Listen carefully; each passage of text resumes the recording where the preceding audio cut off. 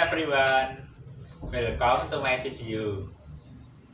Today I will describe my idol. My idol is Isyana Sarasvati. She was born in Bandung in 1993. She became my idol because she has a good voice. She is beautiful and creative. She has red and black hair. She dresses black and white. She has a red lips. She has a black eyes. She wears a red chain necklace.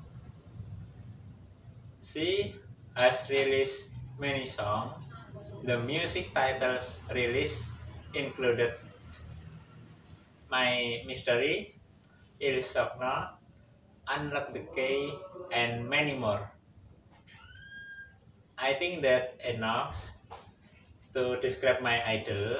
See you next time. Bye.